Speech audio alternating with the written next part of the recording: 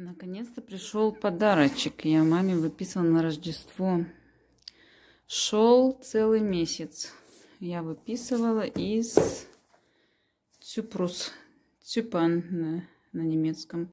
Мне сейчас прям интересно, да? Что там? Как там выглядит? Сейчас я распакую. Было хорошо запаковано. Вот я сейчас вытаскиваю. Это мама давно хотела такое выписать. Она раньше таки в Советском Союзе таким пользовалась.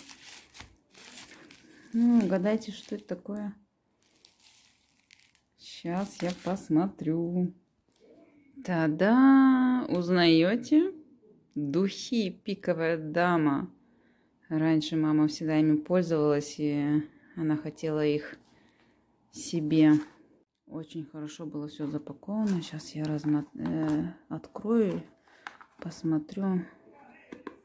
Здесь коробочка так уже это. Какого года там сделала, по-моему, какого года производства? Так, Москва. Это 71-го. Где-то что-то я видела, по-моему. Сейчас я открою. Короче, я э, распаковала в коробочке. Еще здесь все запаковано.